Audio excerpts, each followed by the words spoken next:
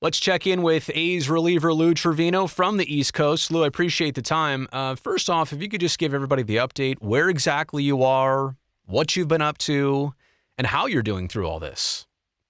Uh, well, I I was originally going to stay in Arizona throughout this whole thing because I didn't think it was going to last this long. But I was very thankful I decided to go back home, and now I'm back in uh, a little north of Philadelphia, or not a little north, about an hour north of Philly. Um, so uh, I've been doing pretty good. I got to spend some time with family, friends. It's been nice seeing my uh, uh, my sister's my sister's little girl grow up. Hmm. Uh, you know, for me, it's it, I was I was a little disappointed because it was going to be I'll I'll see her in in in, in four and five months month increments. So right. it's nice that I'm able to see her uh, a decent amount of time, and and she's just most adorable little girl you ever see in your life. But uh, but no, it's it's it's it's been going good so far as you know as, as it can go.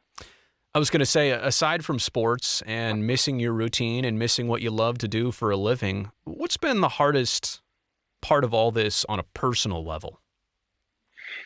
I mean, for me, that's that's it right there. You know, I, I think it's it's very it's very different being here back home in the spring. Um, usually, I'm not right. I'm not here. I'm I'm playing baseball.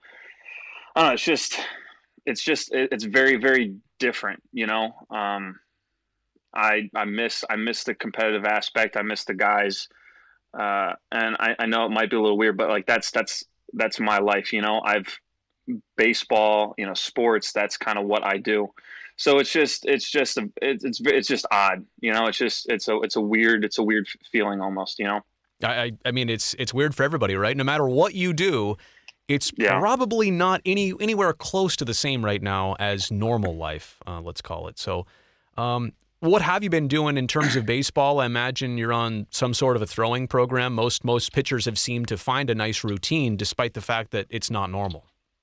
Yeah, uh, I I'm pretty much I'm I actually just threw two hours ago. So, uh, uh, but yeah, every Friday I throw a bullpen and uh, I'm I'm fortunate enough to have a, a baseball academy that's pretty close uh, that they let me um, lift in, so I can continue to maintain arm, arm strength and health, uh, especially you know um, body strength as well. But um, yeah, that's kind of what my excuse me. Uh, that's that's what my uh, routine's been. Just every Friday I throw a bullpen, and then I'll throw three days a week outside of that you know just trying to maintain and if uh, and if we're good to go at any point in time i feel like i'm ready to go do you ever get any spectators out there uh, people who are like oh there's a there's a big league big league pitcher out here uh, throwing some bullpen sessions let's go see what this is like or or are your sessions pretty secluded they're very secluded. I'm throwing to a backdrop. No one's there. You know, it's kind of one of those things where no one, no one's anywhere right now, and I'm the right. only one with access to it. So it's kind of one of those things where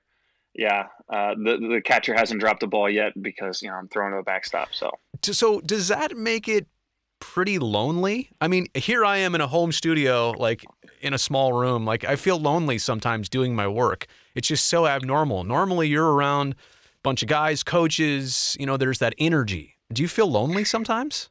Uh, yes, but I mean at the same time, it's it's it's my job, and I it's something I really enjoy doing. And sometimes it's nice to be by yourself to really focus in mm-hmm. on different things and not be distracted. Uh, I'm I'm I mean if you if you talk to a lot of guys that know me, I mean I get I get a lot of crap for doing dry work constantly all all by myself.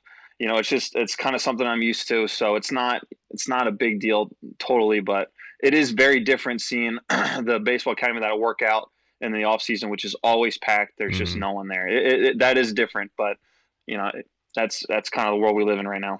I know so many ball players right now are excited at the prospect of, of at least what's on the table of getting baseball going again and even getting potentially a half season in. Um, that does seem significant. I think the half season mark is maybe where a lot of people draw it as worth it or not. Um, what are just your thoughts on getting closer to something realistically happening? I mean, I think it's a good thing for the country as a whole. I mean, I mean, how, how many people are starved for sports? I, I don't play any sports video games, and I've been playing Madden and MLB The Show, and I don't ever play this just because I'm starved for sports. Right. You know, like I, I, I tune in and watch U, UFC. You know, I don't really watch UFC that much, but I'm starved for sports. I'm, I'm, I'm sure a lot of people are like that. So from that perspective, mm-hmm. I think it'd be a, a, nice little morale booster for, for the country as a whole. Um, but I, I, know me personally, I, I, would love to play, but at, at, the same time, I know I've, I've talked to a lot of people. It has to make sense. You know, yeah. we can't just we can't just open everything up and and and kind of go w- willy nilly. And you just you know people have to come up with with good good plans and and, and like I said, it has to make sense. Yeah, and everybody's got to feel right about it for for yeah. obvious reasons. It goes beyond baseball of why this has to be done the right way. Um, in terms sure. of strategy with baseball, uh, and no matter how this happens, it seems like rosters are going to have to be expanded to a certain amount. I don't know what that number is. You probably don't either. And there may be some restrictions on how many pitchers each team can carry, but it does seem like more players available uh, means more managerial, you know, chess matches, which probably means that bullpens – if baseball can come back, bullpens will be even more magnified in terms of importance. Yeah, for sure. And it's going to be interesting, especially now that if they're going to maintain the rule where you can only you have to face three batters. Right. You know, I'm I'm I'm assuming, you know, managers would have loved to have this expanded roster with no um, with no limit on, on the batters they can face. So right. I think it's going to be interesting to find to, to figure out uh, how it, it, you know again hopefully we do play but it's it's going to be interesting to figure out how the bullpen's being used especially with starters not quite being stretched out. It's going to be interesting to see how uh, how how much they can stretch out with the timetable that we have moving forward. And and I know you know there's a lot of starters still throwing but you know not throwing games or really not have that adrenaline. So I don't know. It's I think it's gonna be fun. It's gonna be fun to watch especially uh, especially the bullpen wise. You know, yeah. obviously seeing seeing as I'm a bullpen guy, yeah. but it's gonna it's gonna be interesting to, to see how certain managers use the bullpen and, and stuff. Well, and the other question is, you know, are are good teams still good teams regardless of a half season and kind of the sprint pace and maybe some of the the changed rules and strategies? Um, or is it just a matter of what teams and what individuals can adapt best? I feel like adaptability to a to a 2020 MLB season is probably one of the biggest requirements, one of the biggest ways you could have success. Yeah, I think it's going to be almost more like an NFL season, uh, and maybe that's a bad example, but I get what you're saying. Where yeah, where every game matters. You know, you can't yeah. you can't have a, a, bad month and say it's all right. It's just the beginning of the season. Like it's slumps magnify. You know, whether it's team slumps or individual slumps. Uh, that it's it's it's more of a, a magnified sense. So you gotta as a as a team and even individually, you got to come out hot and you got to stay hot. Uh, so it's you know some teams are really good down the stretch. Well, maybe there's no down the stretch. You know that's the whole yeah. that's the whole season right right there. So yeah, well it's just it's just going to be interesting because you know baseball is really not meant to be played like that. Baseball is meant to grind out and see who the team is over a long period of time. So, and you know, there's teams that can catch fire that maybe maybe can't maintain o- over a whole entire season, mm-hmm. and and and they don't have to. So, I think it, it could be a really really fun season to, to watch. I have this thought: the Oakland A's are always a, a second half great team. Let's just start in the second half. That's kind of what we're doing here, right? exactly, exactly. I mean, it's already second half. It's going to be July when we start. So, yep.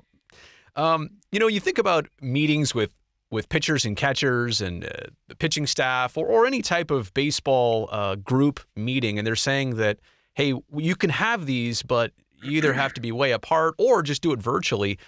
Let's just go down the virtual route. Is that is that something that um, you know a lot of businesses right now across the country are going to Zoom meetings and stuff like that? Is that something realistically that could work for a baseball team and, and you could be fine with that? Maybe?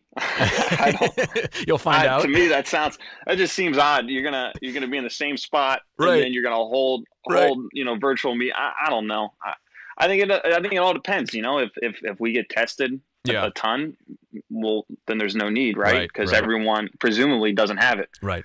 Uh, so I, I don't know. It, it you know that that being said I'm I'm not the one that uh, that makes these decisions and uh, but I mean, it would be very odd to be in a Zoom meeting going o- over hitters. I, I, know, I know that'd be very odd. So uh, I guess we'll see what happens. But it kind of sounds like you're willing to do it if that's what it takes, but it's just you can't fathom it right now, right? Is that kind of it? Yeah, yeah, yeah. I mean, of course. I mean, I, I mean, I, I, think I, you know, I think I'd be willing, but at the same time, all right, come on, guys, right? You know, like, like this is a bit, little, little bit ridiculous. But uh, again, may, maybe it's not. I don't know. Right? It's just, it just doesn't. I, I just, I can't see that. You know, it just seems weird to me. But again, this whole entire thing seems weird. Right. You know, if you would have told me I wasn't playing baseball or no one was playing baseball, right? You know, and the whole entire uh, country was shut down. That that's weird. So you know, there's there's obviously some some adjustments that, that are going to need to be made, but I don't know. We'll, we'll see. Sean Murphy's literally sitting 20 feet to your left, but you're talking to him on your phone via yeah, the, the Zoom exactly. Meeting. Interesting how that could work. Yeah, um, crazy. I, I want to switch gears a little bit. Everybody's talking about Major League Baseball. That's the focus. That's the uh, the driver of the economy. That's that's what's going to help mm-hmm. people's lives get back on track. But I'm just curious how guys like yourself um, see it from the minor league baseball perspective. Not so much the business side of it, but how about all the minor league players who are essentially going to have to miss a season? Do you think that affects their careers one way or another? Can they make something good out of that, or is it all bad? I don't. That is going to be the most.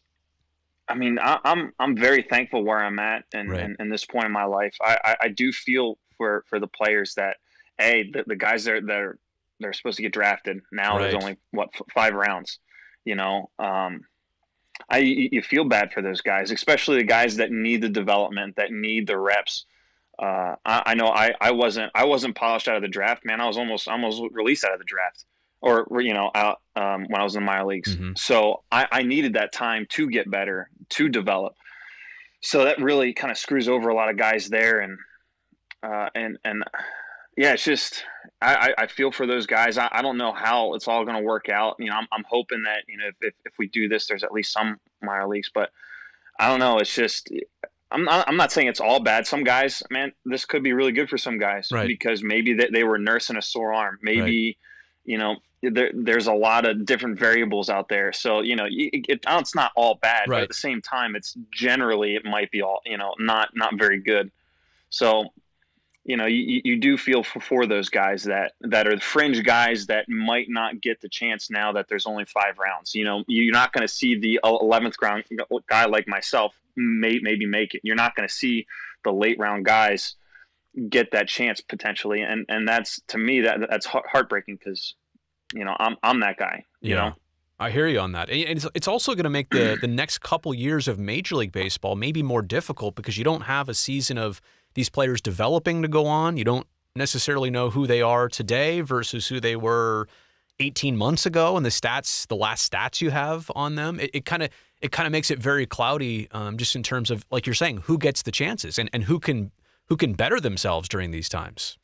Yeah, exactly. And, and then you know you, are talking about about from a from from an organizational standpoint. Maybe you got a guy that you know really hasn't. It, it's it's harder to do stuff. You know, like I'm I'm very blessed to have have a gym really close to me that I can mm-hmm. go and work out. And well, some of these minor league guys, you know, they they've been stuck inside all day.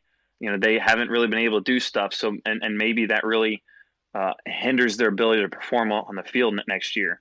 You know, so right.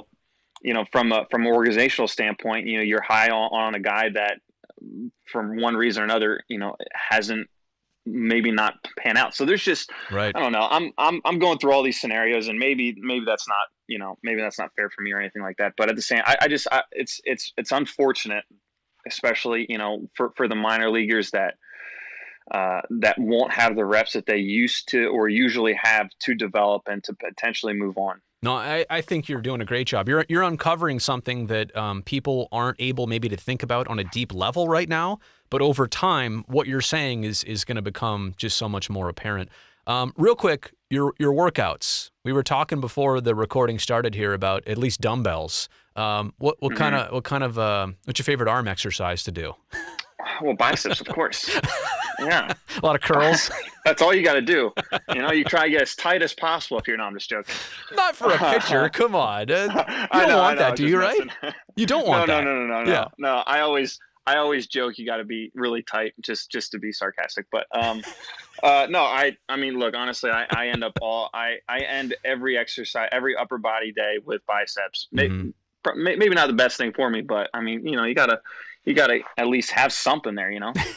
you know what you're doing by now. There there's no questioning that. I was just I was just curious if uh, if, yeah, if you had a favorite one, there's definitely well, pretty much any exercise I don't like to do, but uh, I will ride the Peloton. Well, look, lower half, lower lower body, although it is very beneficial, is never fun. I don't ever wake up in the morning. Ah, yeah, I, I got I got a lower body today. That, that's never fun. At least for me, it is. it sucks. Last But thing you gotta for do what you gotta do. last thing for you here, Lou, and I really appreciate the time. Um, let's let's put let's put together a mental picture for you, and then I want you to tell me how you feel about this. Uh, it's your first day back at the stadium. You get to put a jersey on again. You get to step on a big league mound again. Um, just kind of tell me the anticipated thoughts of of how you'll feel when that when that actually is the case again. It'll be beyond exciting, but all right, it's Mhm. gonna be it's gonna be interesting in a big moment of the game. All right, someone's down, someone's down by a run, big home run, walk off. Crowd goes silent because there's no one cheering except for a couple guys. It's like you're playing little league, little league travel ball all over again. And I know that's probably not what you wanted me to say, but that's all I can picture. These big, big, you know, huge moments that Yep. change the game, and it's just crickets. Yep. You know, Yep. that, that would to me that would be the most interesting part to see how people react. And you know, there's guys that there's guys that pitch and play on pure uh, adrenaline. Mm-hmm. Well, it's going to be harder to have that that adrenaline. So I don't know. We'll see. We'll see how it plays out. We're going to hear pretty much anything. If our microphones work properly, we're going to be able to hear right into your dugout. So maybe watch what you say, but also if you're one of the loud guys, you know, after a homer, you're celebrating. Uh, we're going to know who's really into the game, if you know what I mean. Yeah, that is true. Yeah, that is very that is very true. All right, Lou, I really appreciate this. Thanks again. Be well, be safe, be sane. And um, yeah, I, I do hope it's a matter of weeks and maybe months if Yeah. we need to uh, till we see you coming into a, a real game uh, for, for the real thing. So uh, thanks Yeah, again, we're Lou. willing. All right. Have a good one.